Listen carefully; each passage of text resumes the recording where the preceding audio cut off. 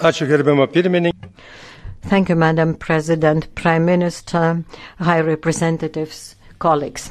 With Putin waging the war, I hope now we have all learned to listen more attentively to warnings the Baltic states have long been issuing warnings about the Kremlin's plans. Second, we are still learning, but our reaction to challenges has accelerated, as was shown by speedy activation of sanctions. Third, we have learned that only acting in global partnership with other countries we can achieve tangible results.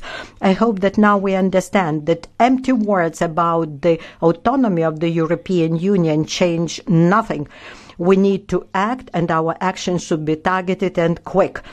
Madam Prime Minister, how many chances do we have that the Council will decide on quitting on the fossil, fossil from um, Russia? Thank you.